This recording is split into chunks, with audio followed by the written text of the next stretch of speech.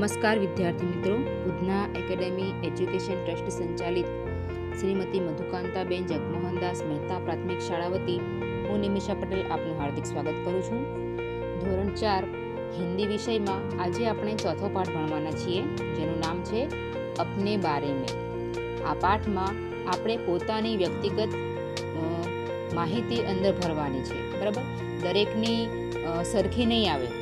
કેટલાક છોકરા હશે તો તે હિસાબથી લખશે કેટલાક છોકરીઓ કેટલીક છોકરીઓ છે તો તે પ્રમાણે અંદર માહિતી લખશે એટલે બધાની માહિતી સરખી આવવાની નથી પરંતુ કેવી રીતના લખવું એનો ફોર્મો શું છે તે આપણે આ પાઠમાં જોઈશું તો ચાલો શરૂ કરીએ પાઠ ચાર अपने बारे में पाठ नंबर चार अपने बारे में सबसे पहले हमें यहाँ पर जो अपना फोटोग्राफ चिपकाइए ऐसा लिखा है बॉक्स में वहाँ पर हमें अपना फ़ोटो लगाना है। क्या लगाना है? फ़ोटो यहाँ पर। यहाँ पे लिखा है कि अपना फोटोग्राफ यहाँ पे चिपकाइए। क्यों? क्योंकि यहाँ पर हमारा पाठ का नाम ही है अपने बारे में। है ना? इसलिए जब हम अपने बारे में लिखते हैं तो अपना फ़ोटो लगाना बहुत ज़रूरी है। तो यहाँ पे हम अपना फ़ोटो लगाएँगे। उसके बाद हम कुछ प्रश्न यहाँ पे हमें खाली जगह पूछी है। खाली जगह के रूप में। तो इस हिसाब से हम यहाँ पर लिखेंगे। नंबर एक मेरा नाम खाली जगह है। अब देखिए यहाँ पर जो लड़का होगा वो अपना नाम लिख सकता है। जो लड़कियाँ होंगी वो अपना नाम लिख सकती हैं।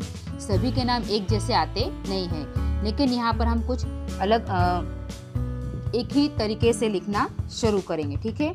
तो यहाँ पर मैं पहले लड़के का नाम लिखूँगी कि मेरा नाम रवि है। बराबर? मेरा नाम रवि है। दूसरा प्रश्न मैं खाली जगह कक्षा में पढ़ता हूँ, अथवा पढ़ती हूँ, ऐसा भी लिखा है। तो यहाँ पे हम लड़के के बारे में लिख रहे हैं, इसलिए हम क्या करेंगे? ये काट देंगे, बराबर? और नहीं काटेंगे तो भी चलेगा। मैं खाली जगह कक्षा में पढ़ता हूँ तो हम चौथी कक्षा में पढ़ते हैं। इसलिए हम यहाँ पर क्या लिखेंगे?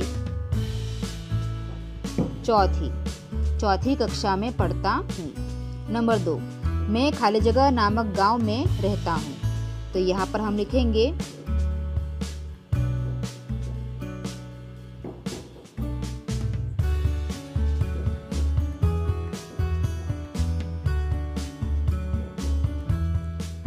राधनपुर। मैं राधनपुर नामक गाँव में रहता हूँ और अगर लड़की होगी तो रहती हूँ, ऐसा करें, ऐसा लिखेंगे। उसके बाद आगे का प्रश्न है, मेरे पिता का नाम खाली जगह है। अब यहाँ पर हम ये ज़रा निकाल देंगे।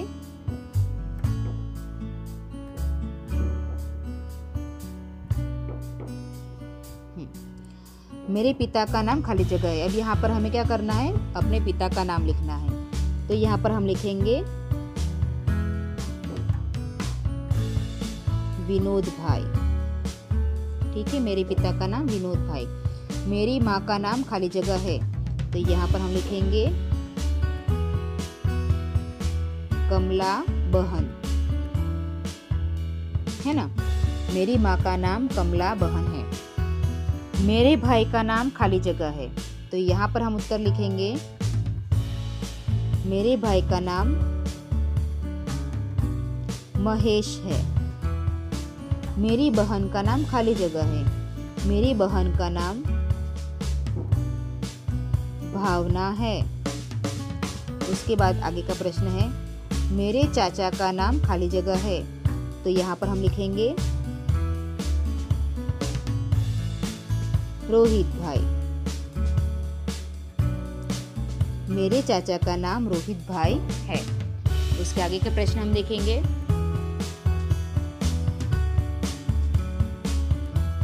मेरी बुआ का नाम खाली जगह है। यहाँ पर हमें बुआ का नाम लिखना है तो हम यहाँ पर लिखेंगे। पारुल बहन।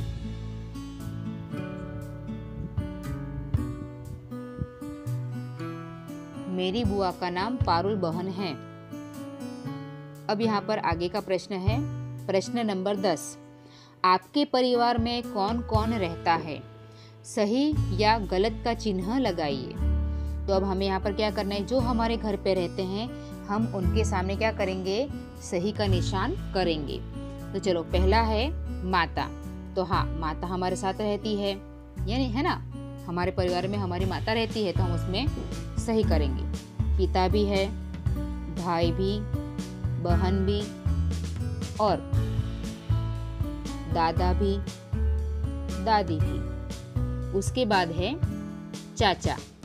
तो चाचा और चाची हमारे साथ रहते नहीं हैं। या तो फिर आ, हमारे पापा के भाई नहीं होंगे तो हम यहाँ पर सही का निशान नहीं लगाएँगे। अगर है तो लिखाएँ करेंगे। नाना नानी तो नहीं। नाना नानी यानी किसे कहते हैं? नाना नानी? हमारे माता होती है, उनके जो माता पिता होते हैं, उनको नाना नानी कहते हैं। तो वो हमारे साथ रहते नहीं हैं। उसके बाद एक फूफा और बुआ। तो फूफा और बुआ भी हमारे साथ रहते नहीं हैं, क्योंकि फुआ बुआ है, वो फूफा के साथ शादी करके उनके घर पे रहती है, इसलिए वो हमारे साथ रहेंगी नहीं।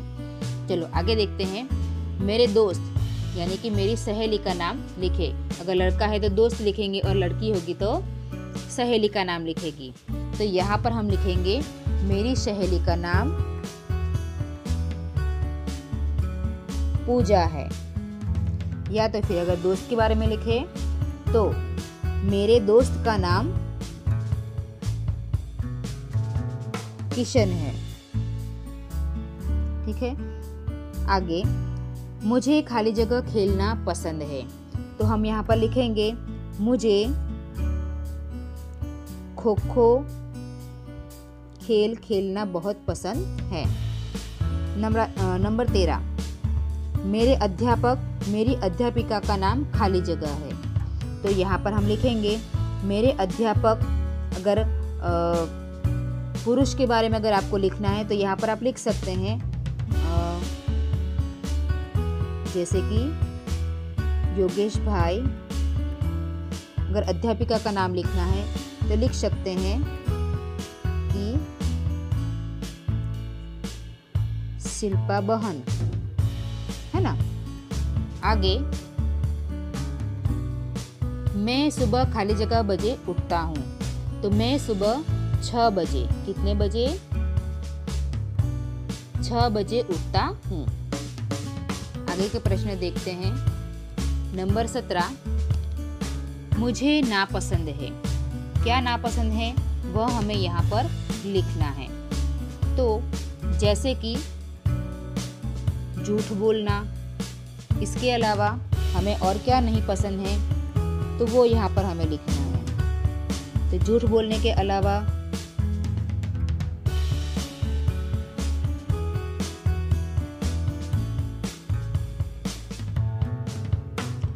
अनियमित छात्र मुझे पसंद नहीं है। इसके अलावा तो गंदगी। आसपास फैली गंदगी मुझे पसंद नहीं है। इसके अलावा कठोर अध्यापक मुझे पसंद नहीं है। आगे देखते हैं। एक प्रश्न यहाँ पर लिखना भूल गए हैं। चलो देख लेते हैं। सोलह में हमने अभी देखा था कि मुझे खाली जगह सॉरी हमने पंद्रह प्रश्न देखा था लेकिन सोलवा प्रश्न देखा नहीं था। हाँ माफ़ करिए। चौदह है मुझे आ, मैं सुबह खाली जगह बजे उठना उठती हूँ अथवा उठता हूँ। तो उसमें हमने लिखा था कि छः बजे बराबर? उसके बाद मैं खाली जगह बनना चाहती हूँ। तो यहाँ पर सबकी अलग अलग इच्छा होती है कि मैं ये बनूँगी, वो बनूँगी। तो यहाँ पर हम लिख सकते हैं कि हम, यानी कि मैं मैं वकील बनना चाहता हूँ, या तो फिर चाहती हूँ, डॉक्टर बनना चाहता हूँ, या तो चाहती हूँ, अध्यापक बनना चाहता हूँ, या तो फिर चाहती हूँ, वगैरह। सोलवा प्रश्न है, मुझे खाली जगह ज़्यादा पसंद है। तो क्या पसंद है? तो यानी अलग अलग हमें कैटेगरी दी है, भाग दिए हैं कि इसमें आपको क्या पसंद है, उसमें क्या पसंद है। तो चलो उसमें लिखते हैं। प्रश्न नंबर जो 16 है, उसका जो कोष्टक है, उसमें हमें उदाहरण दिया है कि जैसे कि खेल तो खेल में हमें क्रिकेट पसंद है। इसके अलावा खिलाड़ी खिलाड़ी में हमें कौन पसंद है? तो खिलाड़ी में विराट, है ना? विराट कोहली पसंद है, या तो फिर हम धोनी भी लिख सकते हैं। बराबर? ये क्रिकेट के बारे में। इसके अलावा जो दूसरी सारे खेल हैं, उसमें हमें कौन कौन पसंद है? तो वो भी हम यहाँ पर लिख सकते हैं। बैडमिंटन में हम सानिया मिर्ज़ा भी लिख सकते हैं, दौड़ में सरित गायकवाड़ सरिता भी लिख सकते हैं। इसके अलावा जो दूसरी सारी खेल हैं, उसमें जो भी अच्छे खिलाड़ी होते हैं, आपको पसंद है तो उनका भी नाम आप यहाँ पर लिख सकते हैं। आगे पढ़ना पढ़ना क्या पसंद है? तो मुझे कहानी पढ़ना पसंद है। क्या पसंद है? कहानी पढ़ना पसंद है। उसके बाद खाना। तो खाने में क्या पसंद है? तो खाने में मिठाई या तो चॉकलेट भी हम लिख सकते हैं ना? मिठाई खाना पसंद है, चॉकलेट खाना पसंद है। फिर गाना। तो गाना, कविता गाना हमें पसंद है, यानी कि मुझे पसंद है। फिर देखना। तो देखना, देखने में हम ये लिख सकते हैं कि कुछ लड़कियाँ होंगे तो चलो सीरियल लिख सकती हैं, लड़के होंगे तो बोलेंगे कि भाई, हमें छोटे बच्चे होंगे तो बोलेंगे कि कार्टून देखना पसंद है। कुछ बच्चे ऐसे होशियार होंगे वो बोलेंगे कि नहीं मुझे डिस्कवरी या फिर नेशनल जोग्राफी ये सारी देखना पसंद है। कुछ बच्चे ये भी कहेंगे कि हाँ भाई मुझे स्पोर्ट्स वाली जो चैनल है वो देखना पसंद है। है ना? आ, कुछ बोलेंगे कि मुझे फ़िल्म देखना पसंद है। कुछ कोई भी कुछ भी लिख सकता है। ज़रूरी नहीं कि आपको जो पसंद है दूसरे को भी पसंद हो। या फिर दूसरों को जो पसंद है वो आपको पसंद करना पड़ेगा। ऐसा ज़रूरी नहीं है। आपकी अपनी पसंद है।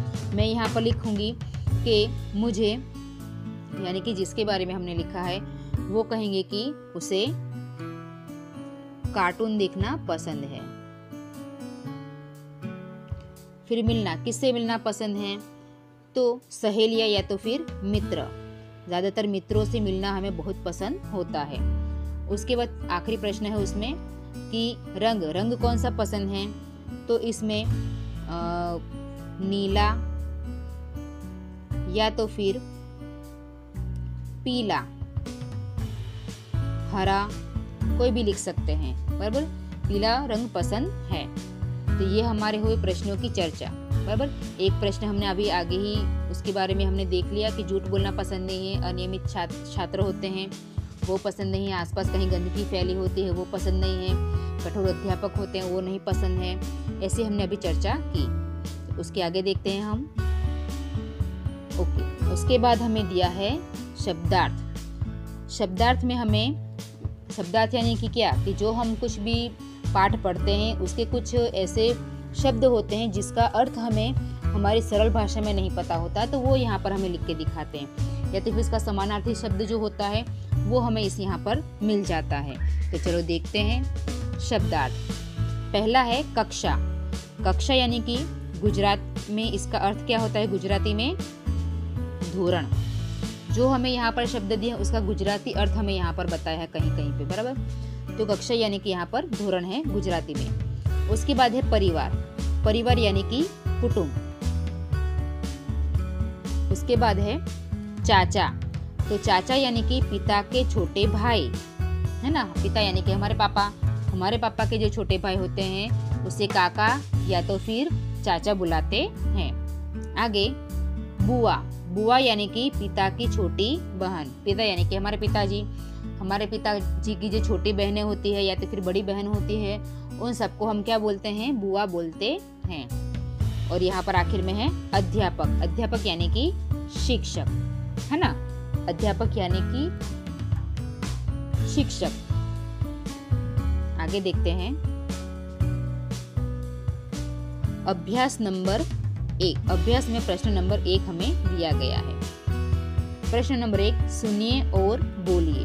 यानी कि हमें पढ़ना है, समझना है और फिर से वापस बोलना है।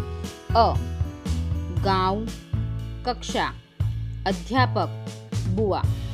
फिर से हम एक बार पढ़ेंगे इन्हीं शब्दों को। अ में दिया है गाँव, कक्षा, अध्यापक, बुआ।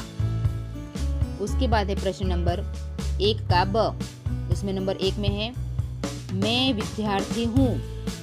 नंबर दो, मैं चौथी कक्षा में पढ़ता हूँ।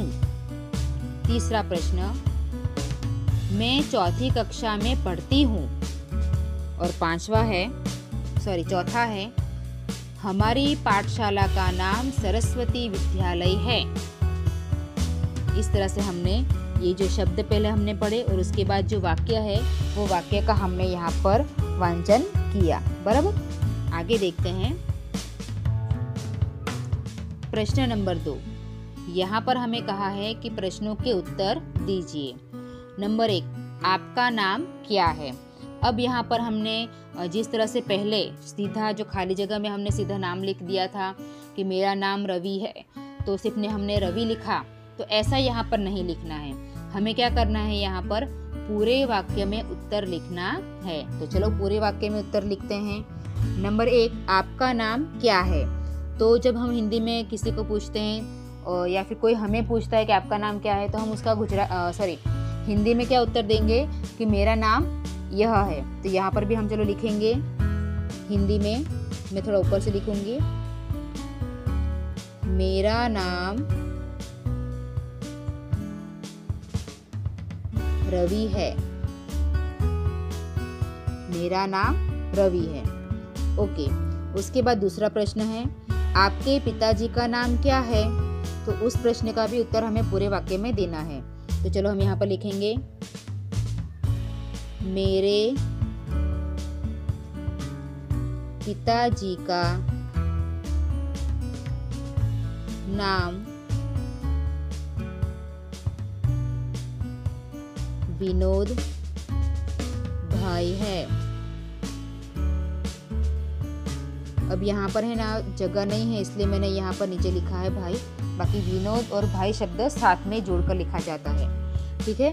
तो नंबर दो का उत्तर है, मेरे पिताजी का नाम विनोद भाई है। आगे का प्रश्न, आपके माताजी का नाम क्या है? तो उसका उत्तर हम लिखेंगे, मेरी माता जी का नाम।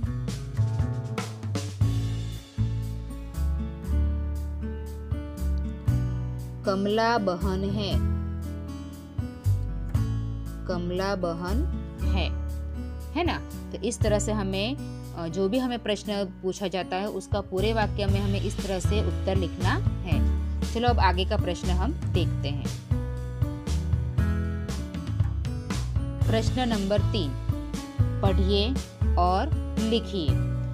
यहाँ पर हमें क्या करना है? जो हमें शब्द दिए हैं, उसे हमें पढ़ना है और उसे एक बार नीचे दिए गए नीचे दी गई जो जगह है, वहाँ पर हमें लिखना है। तो चलो लिखना शुरू करते हैं। पहला शब्द है परिवार। तो यहाँ पर हम लिखेंगे इस तरह से परिवार। अच्छी तरह से हम यहाँ पर लिखेंगे। फिर से एक बार लिखेंगे। परिवार, ठीक है? दूसरा है सहेली। तो यहाँ पर हम लिखेंगे सहेली। दूसरा, तीसरा है दोस्त। यहाँ पर हमने लिखा दोस्त। उसके बाद आगे का है गाँव। क्या नाम क्या नाम है यहाँ पर? गाँव। चंद्रबिंदी बनाएँगे और लिखेंगे गाँव। उसके बाद है यहाँ पर कक्षा। क्या लिखा है? कक्षा। एक बार फिर से लिख देती हूँ।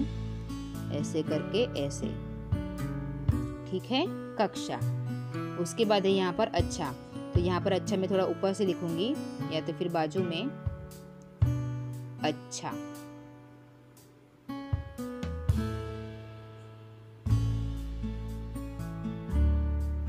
चलो, एक बार हम फिर से इसे पढ़ेंगे। परिवार। परिवार, सहेली, दोस्त। गाँव, कक्षा अच्छा। चलो, इसके आगे के जो दूसरे शब्द है, उसे हम देखेंगे।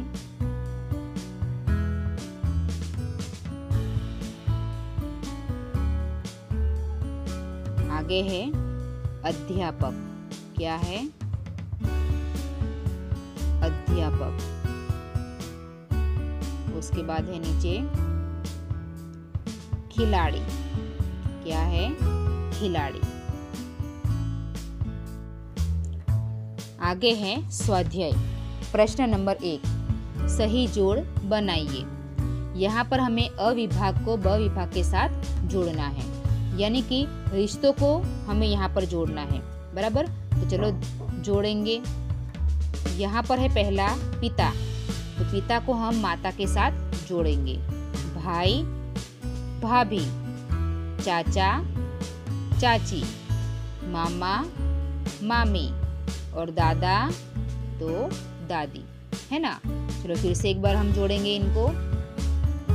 पिता, माता, भाई, भाभी, चाचा, चाची, मामा मामी और दादा, दादी।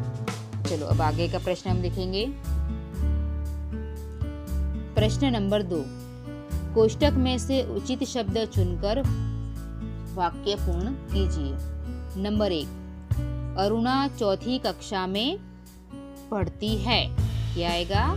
पढ़ती है, क्योंकि लड़की है। लड़की के लिए हम एक ही मात्रा लगाते हैं, इसलिए यहाँ पर आएगा पढ़ती है। नंबर दो लड़का खेल रहे हैं या फिर रहा है तो यहाँ पर लड़का अकेला है। अगर लड़के होता तो लड़के खेल रहे हैं, लेकिन यहाँ पर है लड़का, यानी कि अकेला है वो तो उसके लिए आएगा रहा है, कि लड़का खेल रहा है।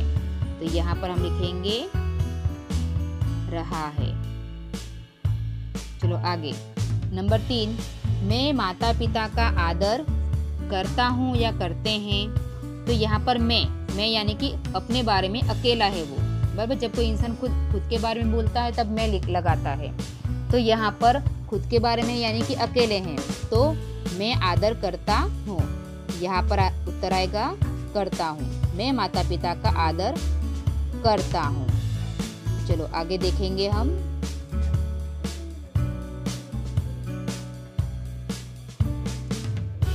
प्रश्न नंबर तीन। कोष्टक में से उचित शब्द चुनकर खाली जगह भरिए। यहाँ पर हमें कोष्टक में उत्तर दिए ही हैं। बस हमें सही खाली जगह में उसका उत्तर लिखना है। कौंस में दिए हैं शब्द? मैं, मुझे, मेरी, मेरे। मैं, मुझे, मेरी, मेरे। चलो उत्तर में लिखते हैं। नंबर एक, खाली जगह लड़की हूँ। तो यहाँ पर क्या आएगा? मैं। है ना? मैं, लड़की हूँ। नंबर दो खाली जगह पिता किसान है। तो उत्तर आएगा, मेरे। मेरे पिता किसान हैं। खाली जगह माता घर काम करती है तो मेरी। मेरी माता घर काम करती है। खाली जगह खेलना अच्छा लगता है। तो आखिर में बचा है मुझे। तो यहाँ पर हम लिखेंगे मुझे, कि मुझे खेलना अच्छा लगता है है ना? चलो आगे का प्रश्न देखेंगे।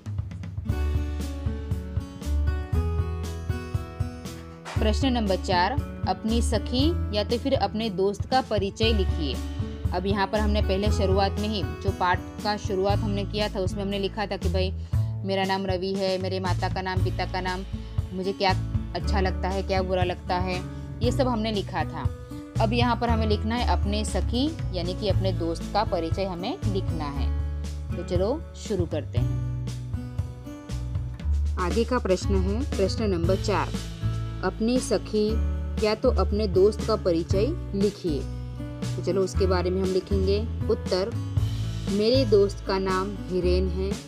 वह चौथी कक्षा में पढ़ता है। उसकी उम्र दस साल की है। वह मेरा सच्चा और सबसे अच्छा दोस्त है। हम दोनों साथ में गृह कार्य करते हैं। हम साथ में खेलने जाते हैं। उसके पापा नौकरी करते हैं। उसका एक भाई है। मेरा दोस्त पढ़ने में बहुत तेज है। वह दूसरों की हमेशा मदद करता है। उसके बाद है योग्यता विस्तार, हमारे रिश्ते नाते। यहाँ पर जो हम अभी आगे पढ़ गए हैं, उसी के बारे में है कि जो रिश्ते हैं, वो हमारे किस तरह से रिश्ते बनते हैं।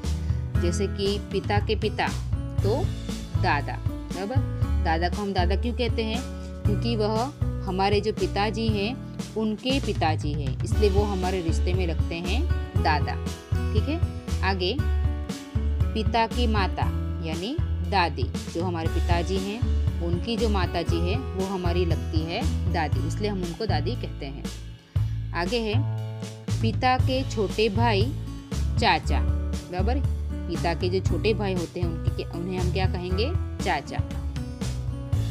उसके बाद है, पिता की बहन बुआ। पिता, यानी कि हमारे जो पापा हैं, उनकी जो बहन है, वो हमारी लगती है बुआ। हम उन्हें बुआ कहते हैं। आगे माता के जो रिश्ते उनके जो भाई बहन होते हैं, उनके जो माता पिता होते हैं, वो हमारे क्या लगते हैं?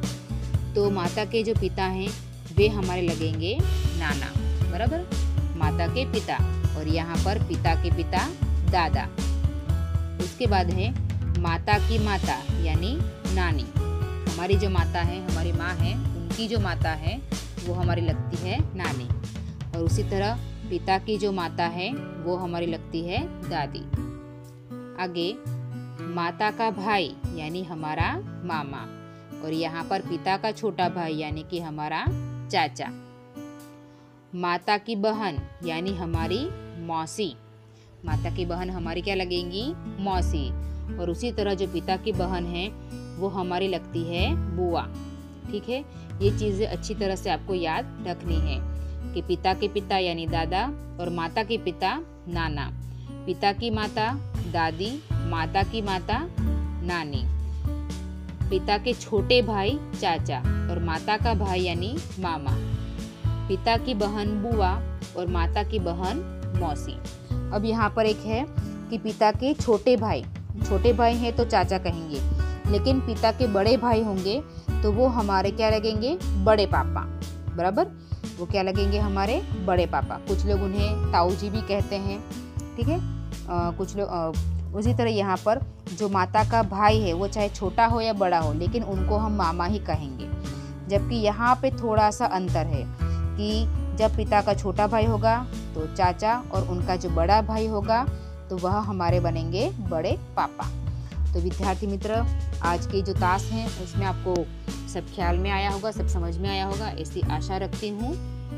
आभार।